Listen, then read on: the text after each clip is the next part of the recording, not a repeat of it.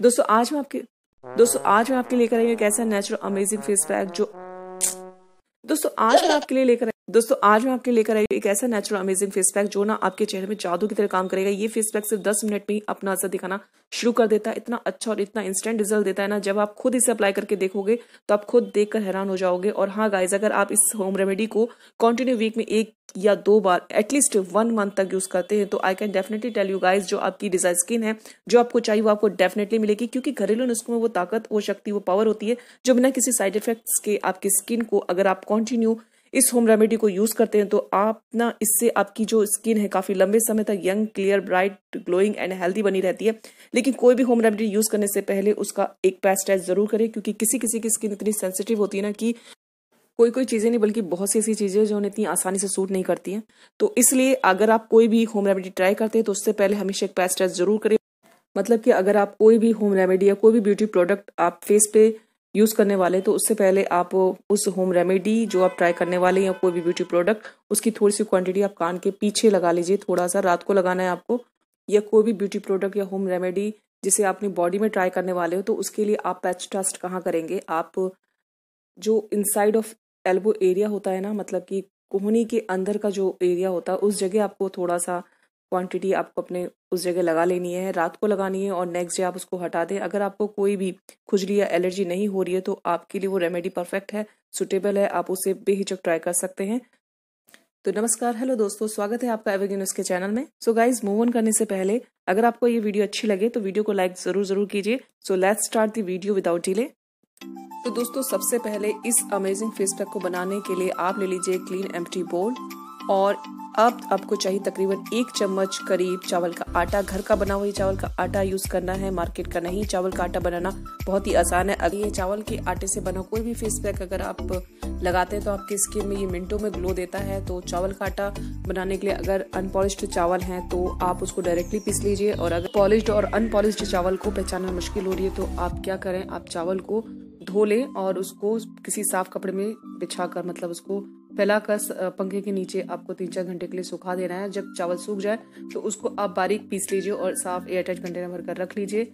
आपका चावल का आटा तैयार है और या फिर चावल को आप भिगो कर जितना आपको चेहरे के लिए अगर आपको चाहिए तो उस क्वांटिटी में आप चावल को भिगा दीजिए और उसको फिर एक घंटे के लिए और फिर इसको मिक्सी में पीस लीजिए, दूध के साथ आप पीस लीजिए। तो अब मैं इसमें डाल रही करीब तीन से चार चम्मच करीब कच्चा दूध। थोड़ा थोड़ा करके डालें, वरना बहुत ज़्यादा आपका ये लिक्विड फॉर्म में बन जाएगा। तो हमें थोड़ा सा थिक पेस्ट चाहिए तो उसमें मैंने डाल दिया तीन चार, तीन से चार चम्मच करीब कच्चा दूध मैंने इसमें डाल दिया। कच्चा दूध नहीं है तो आप फ्रेश एलोवेरा जेल भी ले सकते हैं या फिर आप इसके बदले में दही भी यूज़ कर सकते हैं तो या फिर पानी के साथ भी पेस्ट सिंपली बनाकर फेस पर लगा सकते हैं, बहुत अच्छा इंस्टेंट ग्लो देता है। दोस्तों, चावल का आटा एक बेहतरीन एक्सफोलेटर का काम करता है। ये डेड स्किन को बहुत अच्छे से क्लीन करता है, अच्छे से निकाल देता है। स्किन काफ़ी रिफ्रेशिंग दिखती है चावल के आटे में अमीनो एसिड और विटामिन होते हैं, जो स्किन के वाइटनिंग एजेंट का काम करता है। इसमें एंटी इन्फ्लेमेटरी प्रॉपर्टीज़ होती हैं, जो सनबर्न से आपकी स्किन को बचाती है टैनिंग दूर करती हैं। अगर आपकी स्किन में रिंकल्स या डार्क सर्कल्स हैं तो उन्हें भी दूर करता है और स्किन को ग्लोइंग बनाता है ब्राइट बनाता है। और दोस्तों, हमने इसमें कच्चा दूध मिलाया, यानी कि raw milk which deeply nourishes the layers of your skin और ये आपकी स्किन को अंदर से कंडीशनिंग मॉइस्चराइज करता है एंड ड्राइनेस को क्योर करता है। और दोस्तों, ये एक बहुत ही बढ़िया फेयरनेस एजेंट है। तो अब इन दोनों इंग्रेडिएंट को मैंने अच्छे से मिक्स कर लिया है। और इसको फिर पाँच मिनट तक मैं इसे साइड में रख दूँगी ताकि थोड़ा सा गाढ़ा हो जाए। तो ये देखिए, अब ये रनी कंसिस्टेंसी में दिख रहा है तो ये अगर आप इस तरीके से लगाएँगे फेस पे तो नीचे टपक सकता है आपके। तो इसे थोड़ा सा हम गाढ़ा कर ले, करने के लिए पाँच मिनट के इसको साइड में रख देंगे थोड़ा सा ये सेट हो जाएगा। इसके बाद अपने फेस पे हम लगाएँगे, तब तक आप कोई काम कर लीजिए अपना, या फिर फेस को क्लीन कर लीजिए, क्योंकि कोई भी फेस पैक लगाने से पहले आपका फेस क्लीन होना चाहिए, कोई डर्ट उसमें नहीं होनी चाहिए। तो इसको मैं साइड में रख देती हूँ थोड़ा सा गाढ़ा हो जाएगा ये, पाँच मिनट के लिए। तो ये देखिए फ्रेंड्स पाँच मिनट हो चुके हैं और हमारा जो पेस्ट है, ये देखिए कितना थिक हो गया। पहले कितना रनी कंसिस्टेंसी में था और अब ये देखिए कितना थिक हो गया। तो ये फेस पे लगाने के लिए इस तरीके का कंसिस्टेंसी का सही रहता है परफेक्ट रहता है। तो अब मैं इसमें डालूँगी एक चम्मच करीब शहद। शहद तो आप जानते हैं कि फेस के लिए कितना अच्छा होता है। दोस्तों हनी में एंटीऑक्सीडेंट्स होते हैं जिससे आपकी स्किन में एजिंग नहीं होगी। आपकी स्किन यंग रहेगी, आपका कॉम्प्लेक्शन भी अच्छा होगा। हनी आपकी स्किन के लिए नरिशिंग और मॉइस्चराइजिंग भी है। तो इसको आप अच्छे से मिक्स कर लेते हैं। मिक्स करने के बाद हनी डालने से थोड़ा सा ये रनी कंसिस्टेंसी में हो जाएगा। तो कोई बात नहीं, इसको हम साइड में रख लेंगे। अपने फेस को हम क्लीन करेंगे, तब तक फिर से ठीक हो जाएगा। और अगर आपका ज़्यादा रनी कंसिस्टेंसी का बन गया है तो आप उसमें थोड़ा सा चावल का आटा ऐड कर सकते हैं। तो अभी हम इसको मिक्स करने के बाद साइड में मैं इसको रख रही हूँ। आप इसमें चाहें तो थोड़ा सा नींबू का रस भी ऐड कर सकते हैं। क्योंकि नींबू में बहुत सारा विटामिन सी होता है जो आपकी स्किन को ब्राइटन और लाइटन करता है। देखिए, मैंने इस फेस पैक को बनाने के सिर्फ़ तीन इंग्रेडिएंट का यूज़ किया है। पहला चावल का आटा, दूसरा इसमें कच्चा दूध और तीसरा इसमें शहद मैंने मिलाया है।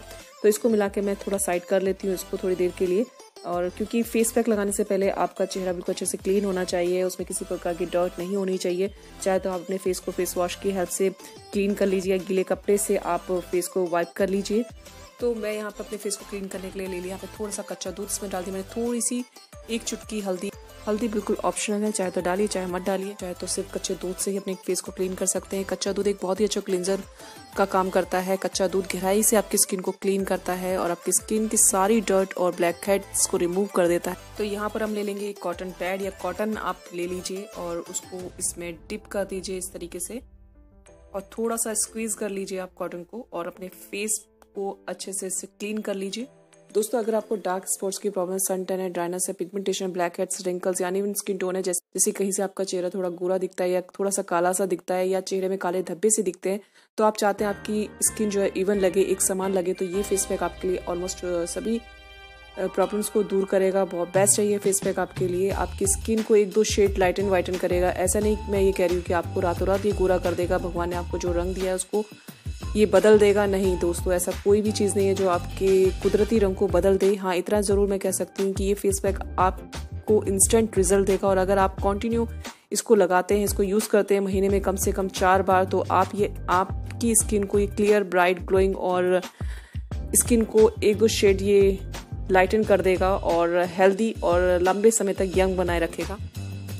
तो आपको चावल के इस फेस पैक को अपने चेहरे पे इस तरीके से लगा लेना है और हल्के हाथों से सर्कुलर मोशन में जेंटली स्क्रब करना है। बहुत ही अच्छा स्क्रब का काम करता है ये चावल का आटा।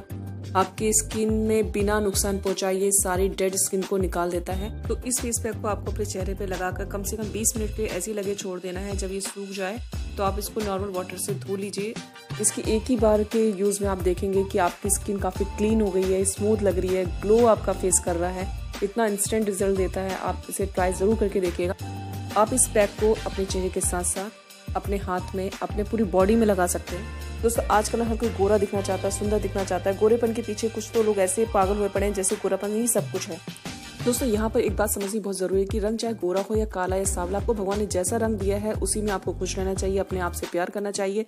स्किन का रंग गोरा हो या सावला, इस बात से कोई फ़र्क नहीं पड़ता है। फ़र्क इस बात से पड़ता है कि आपकी स्किन कितनी स्वस्थ है, कितनी हेल्दी है। हेल्दी स्किन पाने के लिए अच्छा खाना पीना, खुश रहना, सकारात्मक रहना, अपने आप से प्यार करना तो ये सब चीज़ें अगर आप खुश रहते हैं तो आपका स्किन अपने आप ही ग्लो करेगा और आपके चेहरे में एक रौनक रहेगी, आपका चेहरा हमेशा खूबसूरत दिखेगा। तो दोस्तों, अगर आप अपनी स्किन का ख्याल रखते हैं, सजाते हैं, संवारते हैं उसे तो ये सब चीज़ें गलत नहीं है, ये और भी अच्छी बात है, हर कोई चाहता है कि स्किन खूबसूरत यंग क्लियर ब्राइट दिखे तो इन सब चीज़ों के लिए होम रेमेडी सबसे बेस्ट होती है, जो आपकी स्किन को लंबे समय तक यंग बनाए रखती है ब्यूटीफुल बनाए रखती है। तो उम्मीद करती हूँ दोस्तों, आज की मेरी वीडियो आपको पसंद आई होगी हेल्पफुल रही होगी। अगर जरा से भी हेल्पफुल रही है वीडियो अच्छी लगी तो वीडियो को लाइक ज़रूर ज़रूर कीजिए। और अगर आप मेरे चैनल में नए हैं तो चैनल को सब्सक्राइब ज़रूर कीजिए और साथ में जो घंटी बटन उसे बजा दीजिए, ताकि आने वाली वीडियो की नोटिफिकेशन आपको तुरंत मिल सके। तो मिलते हैं आपसे अपने नेक्स्ट वीडियो में। वीडियो को पूरा देखने का आपका बहुत बहुत धन्यवाद। Bye bye and take care